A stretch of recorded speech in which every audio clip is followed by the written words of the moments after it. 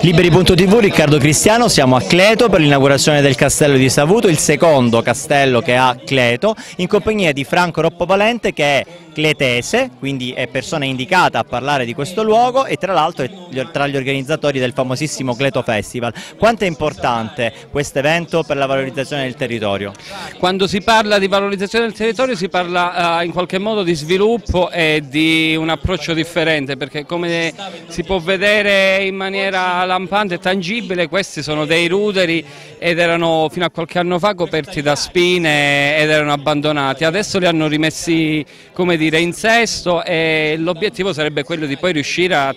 a, ad attrarre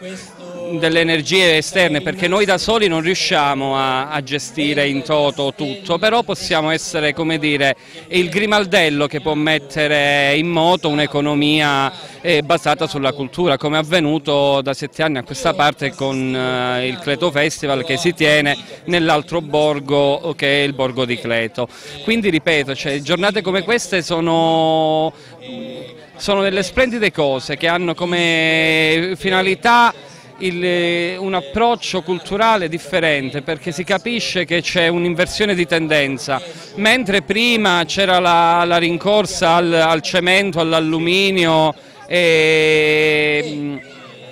e all'edilizia selvaggia che ha depredato i centri storici, in qualche modo questo è rimasto in piedi, non è stato eh, del tutto deturpato con forzature o in, come è successo anche in altri posti distrutto per far spazio a palazzine che poi alla fine si è capito che non hanno portato nulla, invece tramite un approccio differente questi posti possono ancora dare tanto e l'obiettivo nostro come cittadini di Cleto in primis e come associazione culturale La Piazza sarà quello di riuscire nel nostro piccolo a far emergere questo castello perché eh, se lo merita. Perfetto, liberi.tv Riccardo Cristiano, Cleto.